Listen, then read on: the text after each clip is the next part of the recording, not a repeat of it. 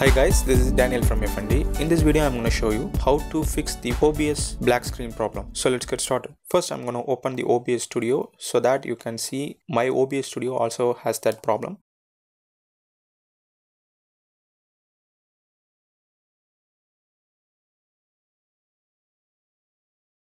You can see that my OBS Studio has the same problem. It is not capturing the screen.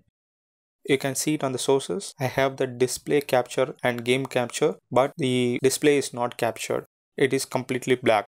So I'm going to resolve it using this simple trick.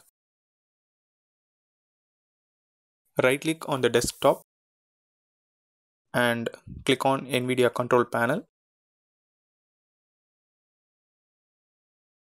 And on the 3D settings, select the manage 3D settings and change to program settings.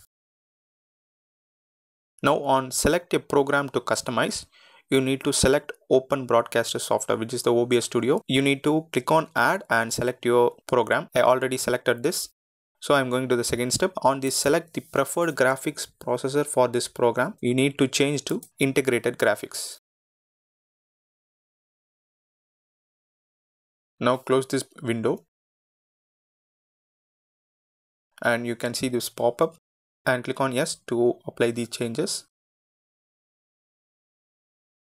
Now I'm going to open the OBS studio again.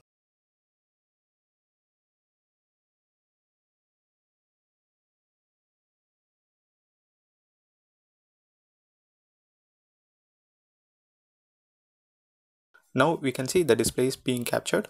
So that's it guys. This is a very simple trick to resolve the black screen problem on your OBS studio if you have NVIDIA GPU. Thanks for watching. If you like this video, give thumbs up, subscribe this channel and also press the bell icon so that you can get quick notification when I upload a video. Thanks for watching. Bye.